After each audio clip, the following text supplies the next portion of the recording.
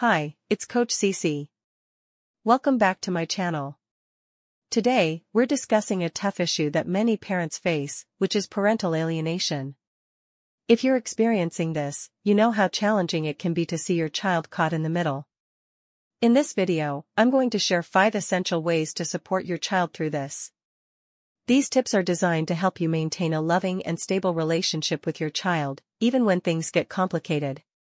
Tip 1. Keep an open and positive dialogue. Make sure your child knows that they can talk to you about anything without fear of judgment or punishment.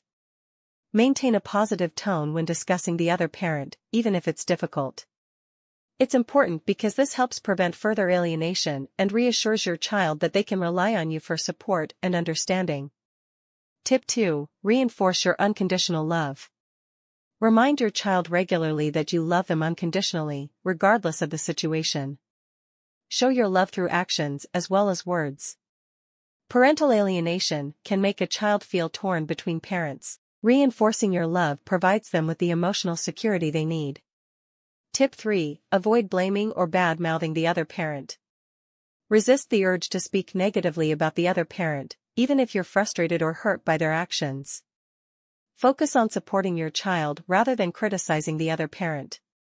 Badmouthing the other parent can increase your child's confusion and distress, making the alienation worse, which can lead to symptoms that affect their mental health. Tip 4. Proactively seek professional help. Consider involving a therapist or counselor who specializes in parental alienation or child psychology. Professional guidance can help your child navigate their emotions and cope with the situation. A professional can provide your child with the tools they need to understand and manage the emotional challenges of parental alienation. Tip 5. Be patient and consistent. Healing from parental alienation takes time.